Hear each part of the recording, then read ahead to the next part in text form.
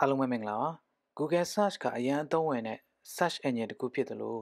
security အားနည်းတဲ့ website တွေအတွက်အိမ်မက်ဆိုးတစ်ခုလည်းဖြစ်စေနိုင်တယ်။ဘာလို့လဲဆိုတော့ Google ကနေအရေးပါတဲ့အချက်လက်တွေဖြစ်တဲ့ server ရဲ့ file တွေ server setting တွေအပြင် user name နဲ့ password တွေကိုပါအလွယ်တကူရှာဖွေနိုင်လို့ပဲဖြစ်တယ်။ အခုကျွန်တော်ပြောပြမယ့်အကြောင်းအရာကဘယ်သူမှတိုက်ခတ်ဖို့မရည်ရွယ်ဘူး educational purpose အတွက်ပဲရည်ရွယ်တယ်။ဒါကြောင့်မလို့ကြီးစုတဲ့သူများအနေနဲ့လည်းဒီအတွက်ပဲရည်ရွယ်ပြီးတော့ကြီးစုပါလို့ကျွန်တော်ပြောချင်ပါတယ်။အရင်ဆုံးအနေနဲ့ FTP ကိုကျွန်တော် Google မှာဘယ်လိုရှာမလဲမရှာခင်မှာ FTP ဆိုတာကျွန်တော်ဘာလဲဆိုတာအရင်ဆုံးကျွန်တော်ပြောပြချင်တယ် FTP ဆိုတာ client ထဲမှာရှိတဲ့ file တွေကို server ပေါ် upload တင်နေတဲ့အခါမှာပဲဖြစ်ဖြစ် server ထဲမှာရှိတဲ့ file တွေကို client တွေကို download ချတဲ့အခါမှာပဲဖြစ်ဖြစ်အသုံးပြုတဲ့ protocol တစ်ခုဖြစ်တယ်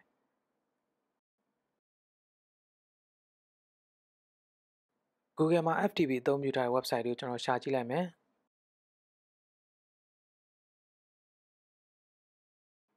အခုလိုကျွန်တော်အများကြီးထွက်လာနိုင်မယ်အဲ့ထရမှာကျွန်တော်ဒီထဲဝင်ကြည့်လိုက်မယ်ဒါတွေက folder တွေ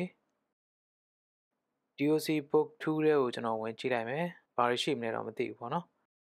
ဘာမှထွေထူးတော့မတွေ့ရဘူး parent directory နဲ့ပြန်ထွက်လိုက်မယ် ဒါတွေက file ကိုနောက်ဆုံးပြင်ခဲ့တဲ့နေဆွဲတွေဖြစ်တယ်ဒီ file တွေက download ချလို့ရတယ်ကြည့်လို့ရတယ်ဖြတ်လို့တော့မရအောင် libstd cdbls ဆက်ကျွန်တော်ဝင်ကြည့်လိုက်မယ် CW+ နဲ့သက်ဆိုင်တဲ့ file တွေတွေ့ရမယ်။ Okay ကျွန်တော်တခြား server တွေက FTP ကိုဝင်ကြည့်လိုက်မယ်။ဘာများထူးခြားကြည့်စရာရှိမလဲ။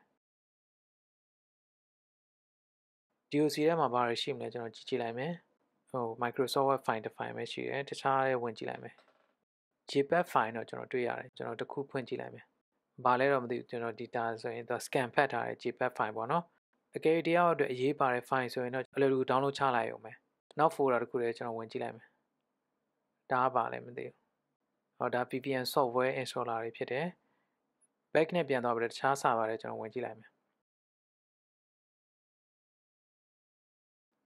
အဲ့မှာ .ru က Russia က website ဒီ link ကတော့ company နာမည်ဖြစ်မယ်ဒီထဲမှာတော့ကျွန်တော် folder တွေအများကြီးပဲကျွန်တော်တွေ့ရမယ်အဲ့ထဲမှာကျွန်တော်အောက်ကိုဆင်းမယ်အဲဘယ်ထဲဝင်ချင်လဲဆို logo ထဲကျွန်တော်ဝင်လိုက်မယ် .psd က Photoshop file JPEG file ကျွန်တော်ဖွင့်ကြည့်လိုက်မယ်ဒါ logo design ဆွဲထားတဲ့ file ပေါ့နော် Okay FTP နောက်မှာ movie ထည့်ပြီးတော့ကျွန်တော်ရှာကြည့်လိုက်မယ် movie သိမ်းထားတဲ့ server တွေကျွန်တော်ထွက်လာမယ်အဲ့ဒီမှာကျွန်တော်ဒီ media display ထဲမှာဘာတွေရှိမလဲမသိဘူးကျွန်တော်ကြည့်ကြည့်လိုက်မယ် .fl လေးဆိုတာ flash file ပေါ့နော်ဒါပဲရှိတယ်နောက်ထပ် server တွေကျွန်တော်ဝင်ကြည့်လိုက်မယ်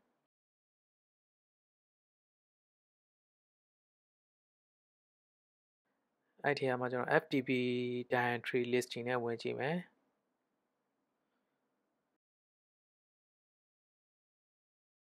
ကြာလိုက်လား Okay ဝင်လို့မရအောင်ကျွန်တော် stop လုပ်လိုက်မယ်နောက်ထပ် ice tube ဒီထဲမှာလည်း git file တွေပဲရှိတယ်အဲနောက်ထပ်စာပါလဲကျွန်တော်ဝင်ကြည့်မယ်ဒါ .edu ဆိုတော့ကျွန်တော် education website ဒီမှာတော့ mbg video file တခုတော့ရှိရယ်ဘာ video လဲတော့ကျွန်တော်မသိဘူး download မချတော့ဘူးအဲ့မှာအဲ့အောက်မှာကျွန်တော် apache ဆိုတာ server မျိုးစာ ubuntu ဆိုတာ operating system အမည် port 443ဆိုတာ https ကိုအသုံးပြုထားတယ်လို့ပြောတာဖြစ်တယ် back နဲ့ပြန်သွားပြီးတခြား server တွေဝင်ကြည့်လိုက်မယ်ဒါဘာလဲတော့မသိ movie database နဲ့ဝင်ကြည့်လိုက်မယ်ဟောဒီထဲမှာလဲ zip file တွေကျွန်တော်အများကြီးပဲကျွန်တော်တွေ့ရမယ် download တော့မချတော့ကျွန်တော်နောက် server တခုလည်းဝင်ကြည့်လိုက်မယ်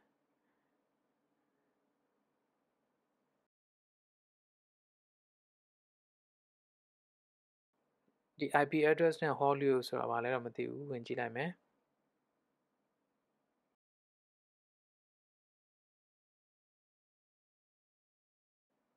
ဟောရမ်းကြာတယ်ဝင်လို့မရဘူးဆိုပိတ်လိုက်မယ်โอเคနောက်တစ်ခုပေါ့နော်နောက်တစ်ခု .fr .fr ပြင်သစ် website .avi ဆိုတာ movie file မျိုးအစားဖြစ်တယ်နောက် server တစ်ခုတွေဝင်ကြည့်မယ်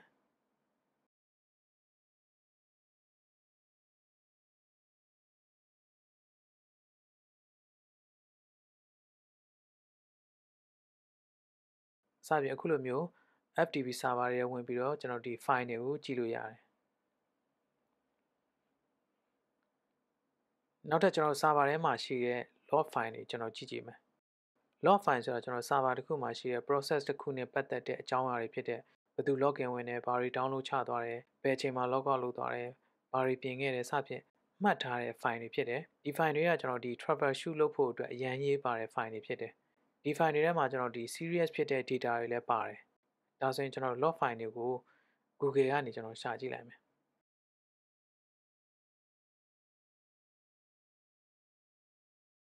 ကျွန်တော်အခုလိုမျိုးအများကြီးထွက်လာမယ်အဲ့ဒီထဲမှာ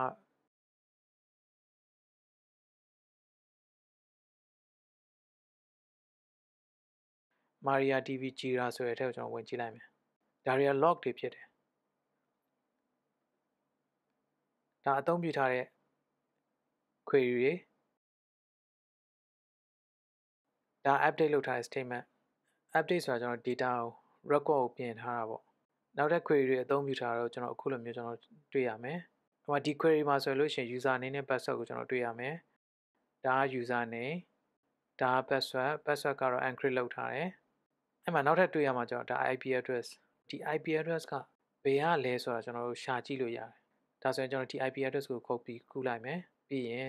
Google ထဲမှာကျွန်တော်ဒီ who is IP address ကိုရိုက်ထည့်ပြီးတော့ကျွန်တော်ရှာလိုက်မယ်ပြီးရင်ဒီ website တွေကဥမာဆိုရင်ကျွန်တော်ဒီပထမဆုံးတွေ့ရတဲ့ website တော့ Ultra Tools ထဲကိုဝင်လိုက်မယ်ပြီးရင်ခုနက IP address ကို paste လုပ်လိုက်မယ်ပြီးရင် go ကိုနှိပ်လိုက်တယ်ဆိုလို့ရှိရင်ဒီ IP address နဲ့သက်ဆိုင်တဲ့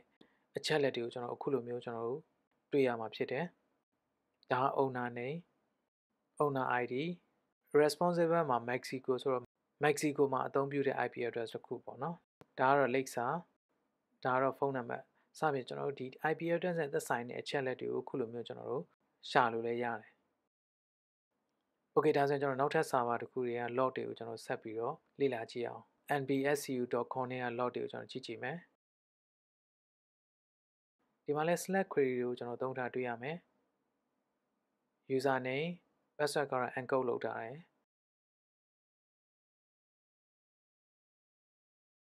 IP address တွေ့ရမယ် .php ဆိုတာဒီ website မှာအသုံးပြုထားတဲ့ programming language ဖြစ်တယ်နောက်တဲ့တခြား server တွေက log တွေကျွန်တော်ကြည့်ကြည့်မယ်ဒီ wiki လေးတွေကဘာ log လဲမသိဘူးအဲ့မှာကျွန်တော် PDF ဆိုတော့ PDF ပြောင်းထားတဲ့ file ပေါ့နော် software install လုပ်တော့ကမှတ်ထားတဲ့ log ပေါ့နော် okay ဒါဆိုရင်ထားလိုက်မယ်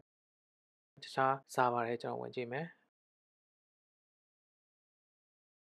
okay ဒီထဲဝင်ကြည့်လိုက်မယ်ဟွာဒီထဲမှာ data တွေအများကြီးကျွန်တော်တွေ့ရတယ် PHP debug နဲ့ထုတ်ထားတဲ့ log ဒါတွေကလည်း debug log တွေဖြစ်တယ်ကျွန်တော်အဲ့မှာဆိုရင်အဲ log ထဲက data တွေရှာချင်တယ်ဆိုကျွန်တော် file နဲ့ရှာလို့ရတယ်ဥပမာဆိုရင်ကျွန်တော် user name တွေရှာကြည့်မယ်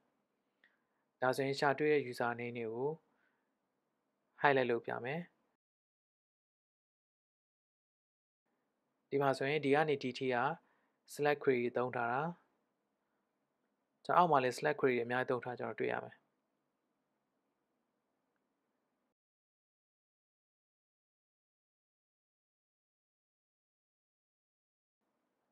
password တွေရှာကြည့်မယ်။အဲဒါပေမဲ့ password တွေကတော့ parameter အနေနဲ့ပဲသုံးထားတာကျွန်တော်တွေ့ရမယ်။ဒါကတော့ PHP နဲ့ရေးထားတဲ့ website တစ်ခုဖြစ်တယ်။ Okay နောက်တစ်ခုကျွန်တော်ကြည့်ကြည့်မယ်။။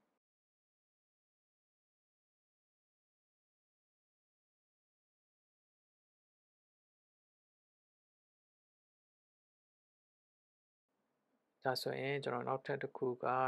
ဒါ UK website တွေကတော့ကျွန်တော်ကြည့်ကြည့်မယ်။တိတ်ပြီးတော့ထွေးထူးတော့မရှိဘူးတခြားစာပါတယ်ဝင်ကြည့်မယ်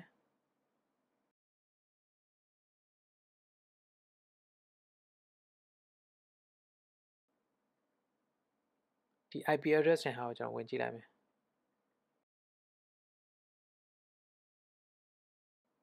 ဒါလည်းဝင်လို့မရကျွန်တော် stop လုပ်လိုက်မယ် Okay နောက်တစ်ခုဝင်ကြည့်မယ် job started at Tuesday ဆိုတာဝင်ကြည့်လိုက်မယ် logic က97ဆိုတော့ကြာပြီပေါ့နော် auto file deleter ဆိုတော့ကျွန်တော်ဒီ hardware တစ်ခုက log file ဖြစ်ဖို့များတယ်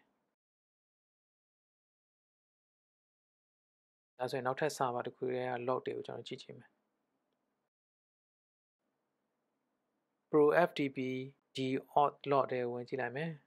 2019က log တွေ login user ip address port တွေကိုစစ်ထားတာအခုတော့ကျွန်တော်တွေ့ရမယ်ဒါ ip ဒါ port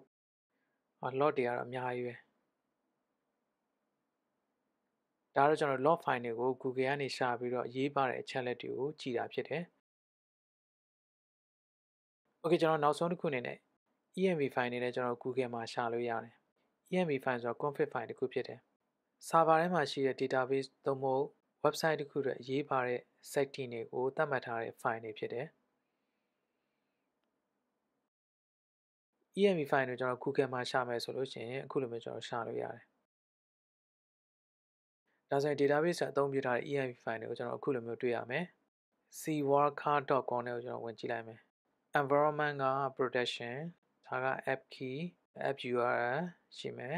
https ကိုသုံးမထားဘူးဒါကြောင့်မလို့လေဒီမှာ trusted မဖြစ်ဘူးလို့ပြနေတာဖြစ်တယ် port number ရှိမယ် database name user name password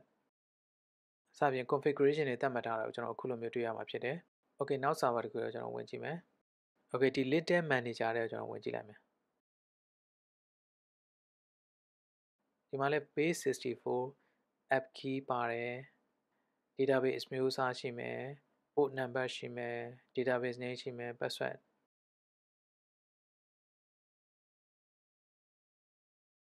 Okay နောက် server တခုတော့ဝင်ကြည့်မယ်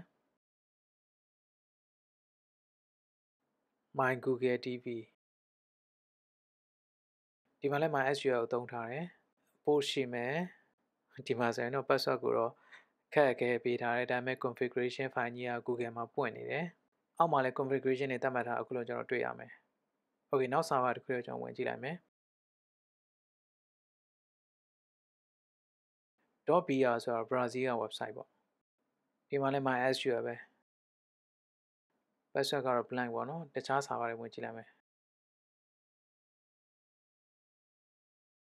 ဒါလည်းခုနကနဲ့တိတ်မထူးပေါ့နော်နောက်တစ်ခုဝင်ကြည့်ကြည့်မယ် .cz ဆိုတော့ Czech Republic က website and configuration တွေကလည်းခုနကနဲ့ခက်ဆင်ဆင်နေပဲဒါဆိုရင်နောက်ထပ် .ro ဆိုတော့ Romania website ဒီမှာဆိုရင် password ကတော့အရင် simple မဖြစ်ဘူး